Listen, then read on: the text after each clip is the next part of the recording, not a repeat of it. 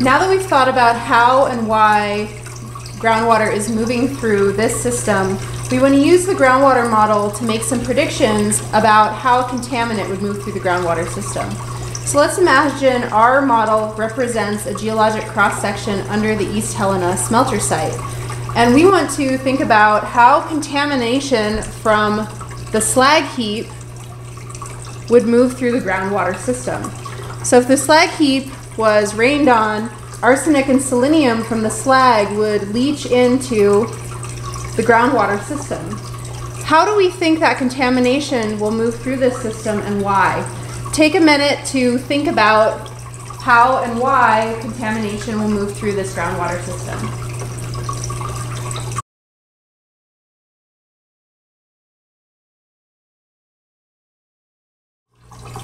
Okay, so now we're going to add some dye at the location of the slag heap and see where that contamination moves in our model of a groundwater system.